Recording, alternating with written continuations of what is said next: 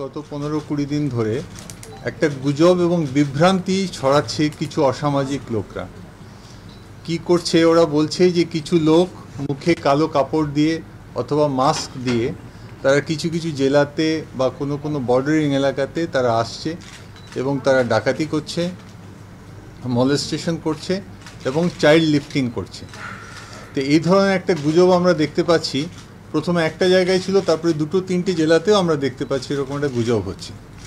তো এইটা কেউ একটা আমাদের মনে হচ্ছে ডেলিভারেটলি কোনো অসামাজিক পরিকল্পিতভাবে কেউ করার চেষ্টা করছে। যারা গুজব ছড়াচ্ছে, এটা একটা অপরাধ এবং আমরা ওয়েস্ট বেঙ্গল পুলিশের তরফ থেকে এবং কলকাতা পুলিশের তরফ থেকে নজর রাখছি এবং যারা এটা করছে বা এই গুজবের উপর ভিত্তি করে কিছু অসামাজিক কাজ করছে অনেক সময় দেখা যাচ্ছে পিটিয়ে দিচ্ছে লোককে, লোকে ইনজিওর্ড হয়ে যাচ্ছে।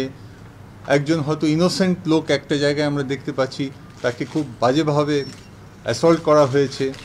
তো এই জিনিসগুলো যাতে না হয়, তাই জন্য আমি আপনাদেরকে, আপনাদের মাধ্যমে সবাইকে বলার চেষ্টা করছি যে গুজবে কান দেবেন না এই ধরনের কিছু নেই, কেউ বাইরে থেকে এরকম আসছেও না, এবং শুধু শুধু ইনোসেন্ট লোকরা, কোনো ভিখিরি বা কোনো বৃদ্ধ, বৃদ্ধাকে দেখে যারা হয়তো রাস্তায় কোনো কারণে একা ঘুরে বেড়াচ্ছেন, তাদেরকে টার্গেট করে একটা অস্থিরতা সৃষ্টি করা এই জিনিসটা যাতে না হয়, সেই জন্য আপনাদের সবার মাধ্যমে আমরা এটা আবেদন করছি এবং বলছি যে যারা এটা করছে, যারা এই ধরনের জিনিসে ইন্ধন দিচ্ছে, তাদের উপরে আমরা নজর রাখছি এবং তাদের বিরুদ্ধে কড়া পদক্ষেপ আমরা নেব।